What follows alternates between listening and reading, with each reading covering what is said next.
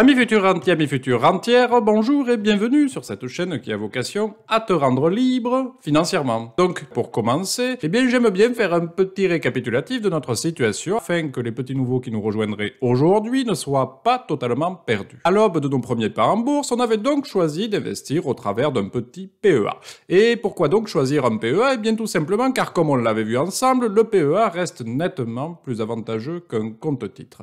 Pourquoi? Ben, Du fait tout simplement de la magnifique petite déduction fiscale que l'on pourra obtenir après 5 petites années de détention. Mais, car oui, il y a malheureusement un mais, je te dirais que comme tout avantage dans la vie, nous avons en contrepartie eh bien, quelques petites contraintes à la détention de ce fameux PEA qui sont notamment eh l'impossibilité d'investir dans des actions hors Europe ou encore dans des obligations.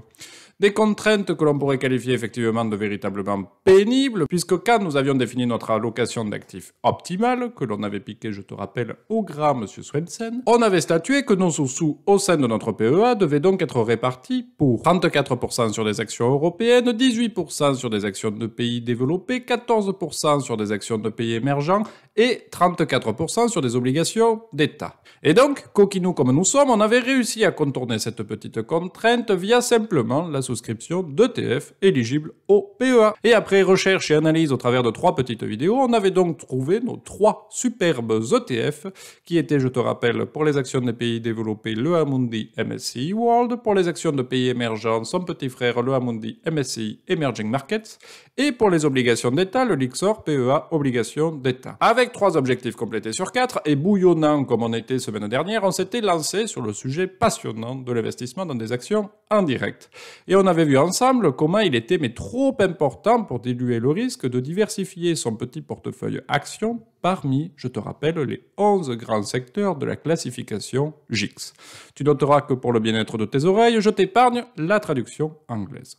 En suivant, on avait même trouvé le temps de se concocter un petit palmarès des plus belles chutes d'actions durant la dernière année, et on avait donc mis de côté quatre belles actions qui représentaient donc deux grands secteurs d'activité.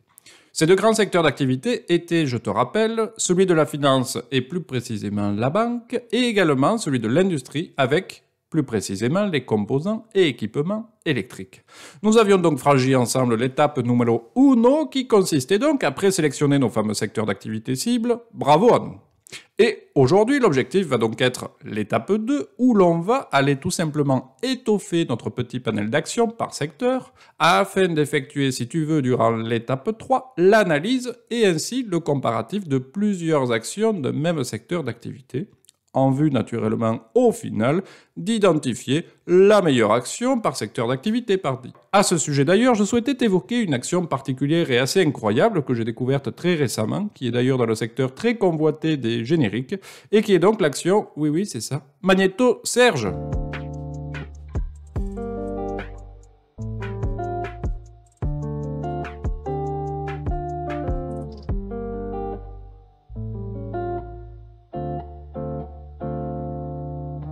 Donc avant d'être coupé par un incroyable générique, j'étais simplement en train de te dire que nous allions étoffer notre panel d'entreprises pour les fameux secteurs d'activité en question. Pour notre exemple du jour, j'ai donc jeté mon dévolu sur le secteur des équipements et composants électroniques. Non, cela ne vient pas du fait que je n'ai pas la lumière à tous les étages, mais c'est simplement car j'en ai pas encore, figure-toi, dans mon petit portefeuille. Et donc je me suis dit, eh bien autant joindre l'utile à l'agréable en décortiquant un nouveau cas avec toi. Pour cela, je te partage simplement comment je fais concrètement. Eh bien déjà, j'allume la bécane et je reprends donc avec entrain mon petit site préféré, Boursorama.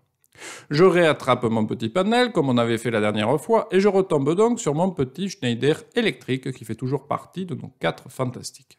Sans me casser la tête, je reprends simplement la petite fiche valeur en y cliquant dessus, tu vois, et j'en profite en général au passage pour procéder à la mise à jour du cours de bourse, ce qui me permet au passage de remarquer s'il y a eu une hausse ou une chute depuis notre dernière mise à jour. Au passage, j'aime bien copier-coller également le petit codizine qui va bien pour, euh, tu te rappelles, faciliter tes recherches et ne pas te perdre dans les méandres de la bourse, même si je dirais que pour une action en c'est quand même plus facile que pour les fameux ETF. Ensuite, eh bien, une fois que je suis sur ma petite fiche valeur, valeur, je clique donc directo sur le secteur et là m'apparaît ainsi comme par enchantement, mes amis, un petit listing des entreprises relatives au secteur d'activité attendu. Elle est pas belle la vie, sans déconner? En effet, si tu regardes rapido en haut les critères de filtre appliqués automatiquement par Boursorama, eh bien tu vois qu'ils ont simplement pris les critères exacts qu'il nous fallait. Il est pas mignon ce petit. Là, moi, ce que je fais en général pour être efficace, eh bien, je pioche directo dans les entreprises proposées en bas et je prends toujours systématiquement et prioritairement celles, tu vois, où il y a d'estampillé un petit SRD dessus. Et pourquoi donc tu vas me dire? Eh bien, simplement car si tu veux, un titre, une action pour être éligible à ce fameux SRD, c'est un service de règlement différé, elle doit remplir un certain nombre de critères prédéfinis, si tu veux, qui sécurisent en gros pour nous notre investissement.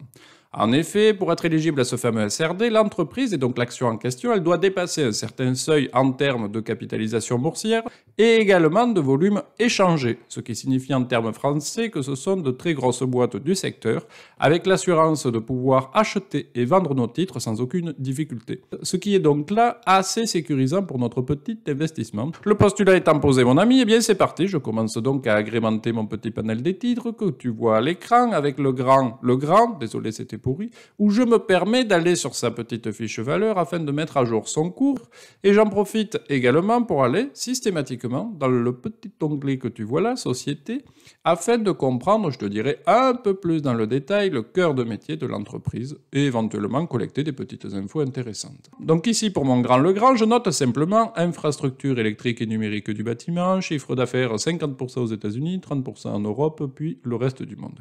Je fais exactement, si tu veux, la même démarche pour le suivant, Mersenne, dont la spécialité est notamment l'utilisation des matériaux en graphite. Ouais, t'as vu, on apprend plein de trucs avec la bourse.